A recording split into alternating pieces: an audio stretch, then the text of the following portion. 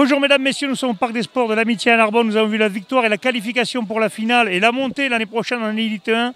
Les espoirs du Racing Club Narbonnais contre Nevers sur le score de 32 à 18. Avec moi les deux entraîneurs, Sébastien et Guillaume, et puis le capitaine Thomas. Thomas, il a fallu se le peler parce qu'ils étaient épais ces types de Vendôme. Ouais, ben, euh, on l'avait vu dès la vidéo, on s'est dit enculés qui sont épais ces types. on, a vu un peu, on avait vu un peu qu'ils avaient une grosse force en mêlée, etc. Et leur plus grosse force finalement c'était devant je trouve.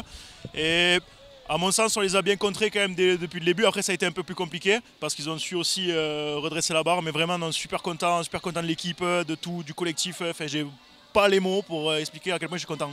Oui, 21-6 à la mi-temps, le boulot était déjà fait, mais après ils sont rentrés avec d'autres ambitions. On a vu, ils ont dû se faire remonter les bretelles. Il a fallu quand même faire le dos rond. Hein. C'est ça, ouais. Après, nous aussi, je sais qu'on a un petit, on a toujours une petite 10 minutes, 10 euh, minutes, 20 minutes là, qui sont un peu compliquées. On a un petit creux à chaque fois au retour.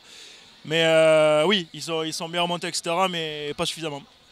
Les entraîneurs, je suppose, une fierté parce que c'est la qualification d'un groupe l'année prochaine en Elite 1. Vous vouliez ça, l'objectif est atteint. Maintenant, il y a une finale à aller jouer. Tout est possible.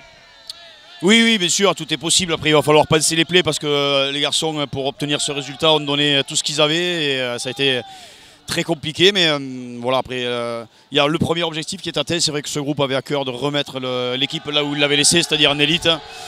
Et euh, ça fait 10 mois qu'ils travaillent pour ça et euh, voilà c'est superbe aujourd'hui, ils sont, récompensés parce que c'est vraiment un, groupe qui a beaucoup de valeur et qui, euh, méritait d'atteindre cet objectif.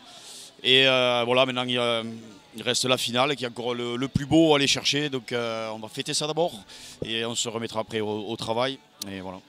Vous allez jouer Van qui s'est qualifié. Bon maintenant je ne pense pas que vous ayez peur de personne. Comme on l'a dit depuis le début, vous jouez tous vos matchs avec un groupe de copains. On sent que c'est vraiment. Il y a une osmose qui a pris dans cette équipe.